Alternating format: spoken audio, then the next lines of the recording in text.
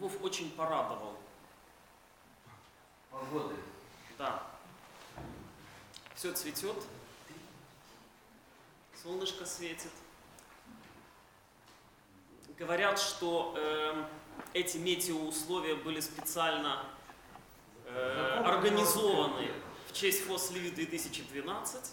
Говорят, что несколько дней назад Было холодно. Да, что несколько дней назад все изменилось в правильную сторону. А вот, э, ну, я могу сказать, поскольку все-таки я присутствовал не на всех докладах, э, честно говоря, попробовал немножечко даже чуть-чуть побегать между двумя параллельными секциями, потому что э, там был интересный доклад, там. Вот, мне э, возникло такое ощущение, что процент докладчиков, которые сознательно заинтересованы в свободном ПО, по крайней мере живых докладчиков, был выше. Э, То есть эм, конференция стала более ориентированной на свободное ПО и меньше ориентированной на... В общем, э, есть такие э, типичные, э, раньше их называли республиканскими научно-практические конференции, которые в основном практические и, может быть, если повезет, научные. Вот. Это очень типичное для вуза явление.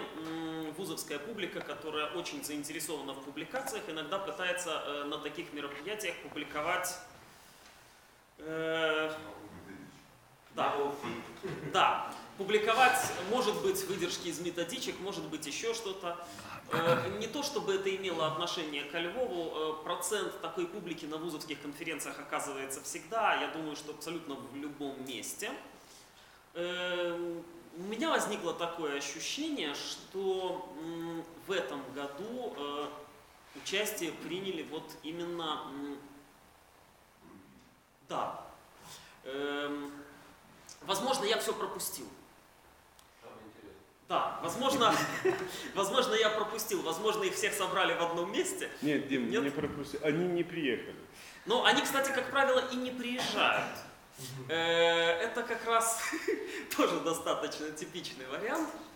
Вот, но эм, те, которые оказываются рядом, иногда приходят сделать доклад. Э, Доклад иногда по- получается странный, вот, потому что м, такому товарищу часто нечего доложить. У меня возникло сильное ощущение, что э, эм, если и были, то или не приехали, или, может быть, их был меньше процент именно. Ну, опять же, насколько я помню, в прошлом году часть э, из таких абсолютно случайных докладчиков получила отворот-поворот, в смысле рецензирования тезисов.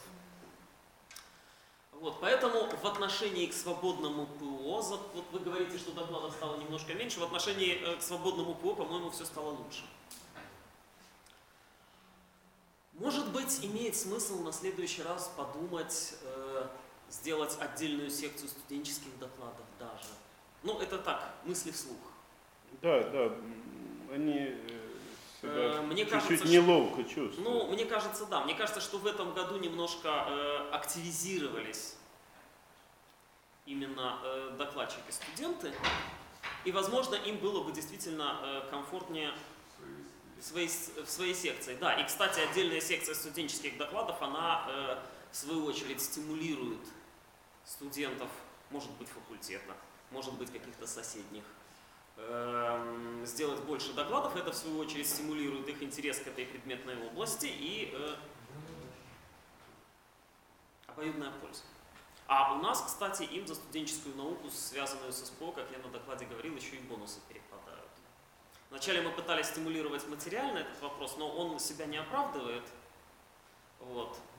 Э, А вот взаимозачеты по каким-то дисциплинам, да, интерес возрастает. кстати. Я открою секрет.